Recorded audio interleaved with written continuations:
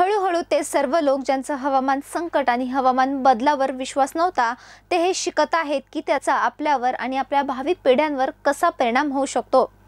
हवामान अधिक गरम होत आहे हिमखंड वितळत आहेत आणि अनेक प्राणी नामशेष होत आहेत. याच दरम्यान धान्याविषयी एक लेटेस्ट रिपोर्ट प्रसिद्ध झालाय. शास्त्रज्ञांनी चेतावणी दिली आहे की अन्न पूर्णपणे संपण्यासाठी फक्त सत्तावीस वर्षे आहेत. याचा अर्थ आपण अन्न संकटाकडे वाटचाल करत आहोत. धान्याविषयी एक लेटेस्ट रिपोर्ट प्रसिद्ध झालाय. तो वाचून समजून घ्यावा लागेल. अन्यथा खूप उशीर झालेला असेल असं शास्त्रज्ञ सांगतात. चोवीस एप्रिलपासून वैज्ञानिकांनी सजीव सृष्टीच्या मृत्यूच्या दिवसाची मोजणी सुरू केली आहे. होय तोच तो दिवस ज्या दिवशी जगातलं सर्व अन्नधान्य संपणार आहे. पृथ्वीवासियांकडे आता फक्त सत्तावीस वर्ष आणि दोनशे एक्कावन्न दिवस शिल्लक राहिले आहेत असा वैज्ञानिकांनी दावा केलाय. सोशोबायोलॉजिस्ट एडवर्ड विल्सन यांनी सांगितले की सध्याच्या मानवी गरजा पूर्ण करण्यासाठी पृथ्वीला दोन ग्रहांची आवश्यकता आहे. त्यांनी एका वृत्त माध्यमाला सांगितले की मानवतेला अन्न पुरवण्याच्या पृथ्वीच्या क्षमतेला मर्यादा आहेत. जरी पृथ्वीवरील प्रत्येकाने शाकाहारी होण्यास सहमती दर्शवली तरीही जगातील शेतजमीन गरजेला आधार देऊ शकत नाही. जगाची लोकसंख्या स्वतःला पोचण्यासाठी खूप मोठी असेल. तोपर्यंत पृथ्वीवर जवळजवळ दहा अब्ज लोक असतील. आणि दोन हजार सतराच्या तुलनेत आपल्याला आवश्यक असलेल्या अन्नाची मागणी सत्तर टक्क्यांनी वाढलेली असेल.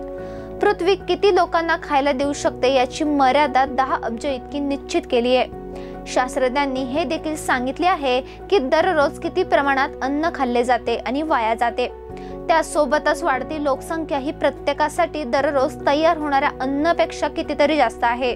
प्रोफेसर जुलियन क्रिप ज्यांनी आपत्तीजनक भविष्यवाणीवर पुस्तके लिहिली आहेत ते म्हणाले की हे जागतिक अन्न संकट आहे आणि मला त्यातून बाहेर पडण्याचा मार्ग दिसत नाहीये. पाणी जमीन ऊर्जेची कमतरता लोकसंख्या आणि आर्थिक वाढीची वाढलेली मागणी यामुळे दोन हजार पन्नासच्या आसपास जागतिक अन्न टंचाई निर्माण होईल.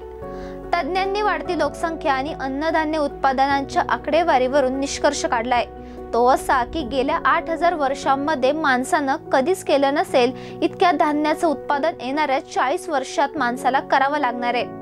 पृथ्वी एक हजार कोटी नागरिकांना अन्न खाऊ घालू शकेल परंतु त्यानंतर धर्तीवरचा भार वाढायला सुरुवात होणार आहे. माणसं आवश्यकतेपेक्षाही जास्त अन्न खात आहेत आणि नंतर अन्नाची नासाडीही करत आहेत. त्यामुळे धान्य निर्मिती करण्यासाठी पृथ्वीवर दबाव वाढत जाणार आहे. पृथ्वीवरचे सर्व नागरिक शाकाहारी झाले तरच जास्त लोकसंख्येला अन्न खाऊ घालता येणार आहे. जसे की मक्याच्या तुलनेत मांसाचं उत्पादन करण्यास पंच्याहत्तरहून अधिक पट ऊर्जेचा वापर केला जातो. दोन हजार पन्नास पर्यंत जगातल्या सर्व देशांमध्ये अन्नधान्याची कमतरता भासणार आहे असा दावा शास्त्रज्ञांनी केलाय.